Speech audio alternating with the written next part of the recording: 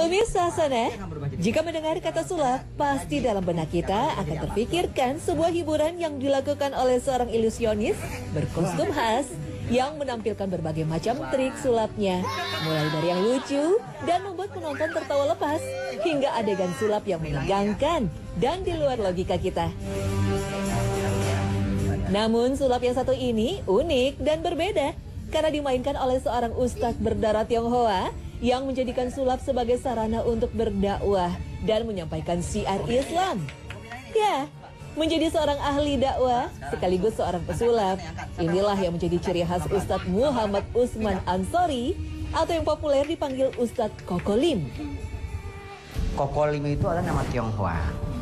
Jadi ketika Koko mulai berdakwah itu masuk Islam tahun 1994. Jadi Koko hijrah memeluk agama Islam tanggal 21 Juli 1994. Nah, nama aslinya itu Lim Hai Tai. Jadi ketika hijrah ke agama Islam, namanya diganti menjadi Muhammad Usman Ansori.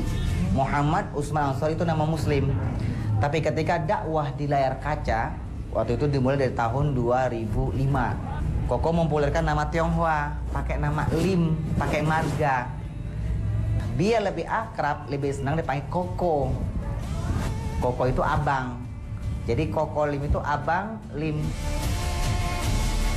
Sejak tahun 2012, ia memutuskan menggunakan metode sulap sebagai sarana berdakwah.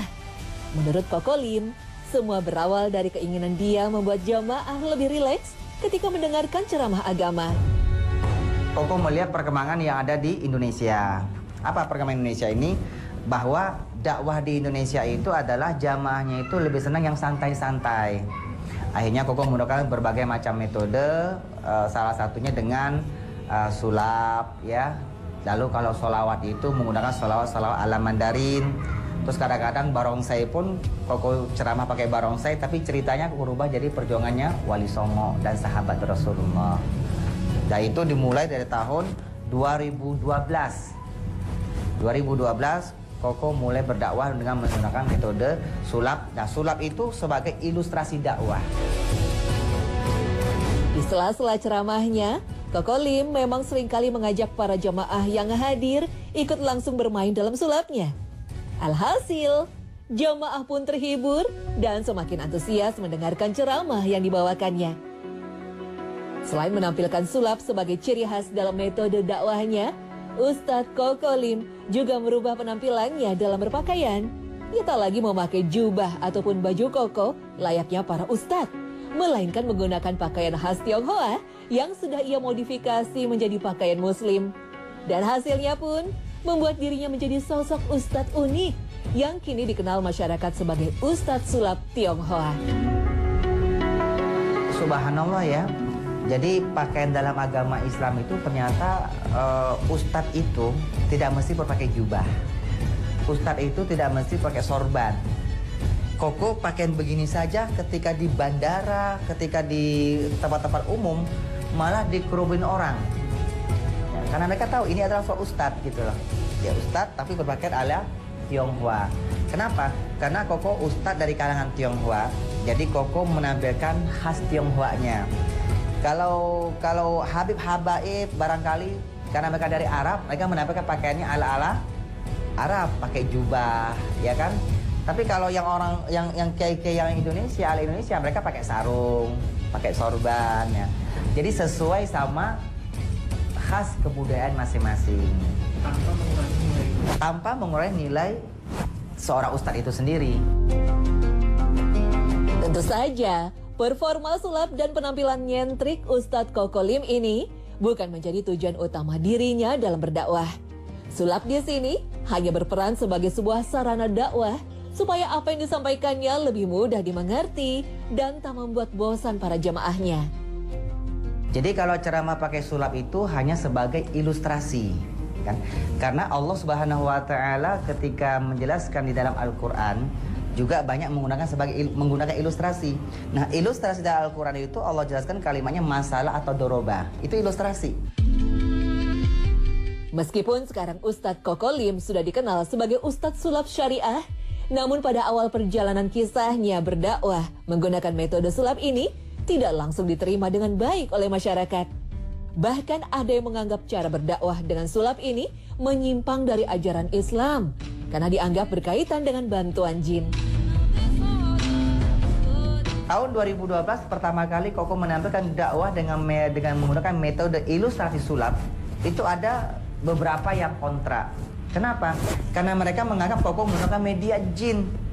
Karena sulap yang Koko mainkan bukan sulap yang tradisional tapi sulap yang spektakuler. Kadang-kadang di luar logika manusia.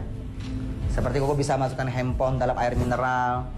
Lalu apalagi lampu dipegang bisa nyala, tisu dibakar jadi uang. Dan lalu korek apinya kok pelintir jadi bengkok. Itu dikira aku melakukan media jin. Uh, padahal itu sebagai ilustrasi media dan itu ada trik. Namun pertentangan dari sebagian masyarakat ini tak membuat pria berdarah Tionghoa asal Dumai Riau ini menyerah begitu saja.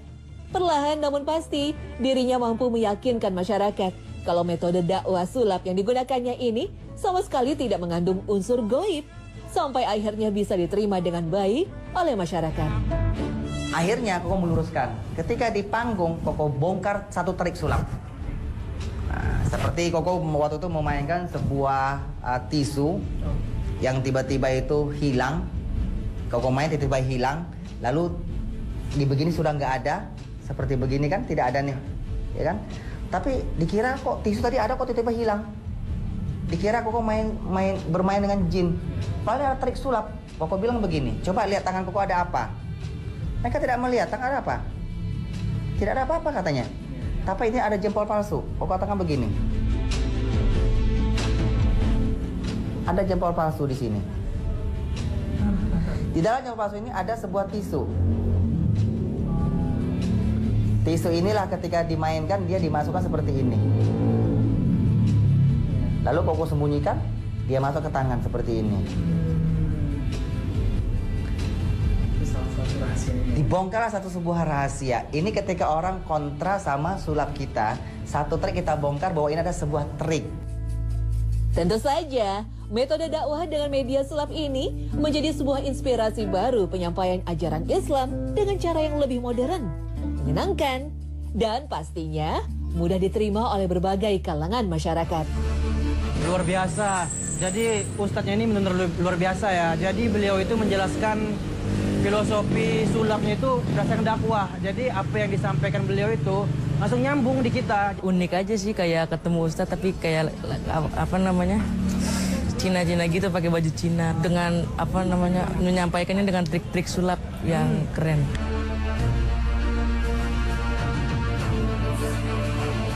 Pemirsa sana, berdakwah merupakan kewajiban bagi setiap muslim sesuai dengan kemampuan dan kesanggupannya untuk menyampaikan ajaran-ajaran Islam, mengajak manusia ke dalam kebajikan dan mencegah kemungkaran. Perintah untuk berdakwah sekaligus keutamaannya telah dijelaskan dalam Al-Quran Surah Al-Luqman ayat 17. Allah subhanahu wa ta'ala berfirman, Dan suruhlah manusia untuk mengerjakan yang baik dan cegahlah mereka dari perbuatan yang mungkar dan bersabarlah terhadap apa yang menimpa kamu. Sesungguhnya yang demikian itu termasuk hal-hal yang diwajibkan Allah Subhanahu wa taala. Karena sesungguhnya keutamaan berdakwah tak hanya bagi orang yang menerimanya saja, namun juga bagi yang menyerukannya. Keduanya akan memperoleh kemuliaan yang sama di hadapan Allah Subhanahu wa taala. Dari Abu Umamah Al-Bahili radhiyallahu anhu berkata, Rasulullah Shallallahu Alaihi Wasallam bersabda, sesungguhnya para malaikat serta seluruh penduduk langit dan bumi sampai semut-semut di sarangnya, mereka semua bersolawat mendoakan dan memintakan ampun atas orang yang mengajarkan kebaikan kepada manusia. Hadis riwayat Tirmizi. Ustadz Koko Lim memilih berdakwah dengan kemampuan yang dia miliki. Media sulap dengan trik dan permainan yang menyenangkan sehingga apa yang disampaikannya bisa dengan mudah dicerna dan diterima oleh orang lain tanpa mengurangi nilai-nilai ajaran Islam yang menjadi tujuan utamanya berdakwah. Jadi, kalau dikatakan kaitan Islam dengan sulap ini, uh, sulap ini kan sebagai ilustrasi. Ya, laksana Sunan Kalijaga menggunakan media dan gamelan. Asalkan ilmu yang kita sampaikan itu tidak bertentangan dengan syariat agama Islam, maka itu diperbolehkan. Karena dari hasil sulap yang koko mainkan tadi itu adalah pesan-pesan dari Al-Quran yang koko sampaikan. Jadi ketika kau bermain sulap, bermain sulap, itu selalu ada pesan-pesan agama Islam yang koko sampaikan.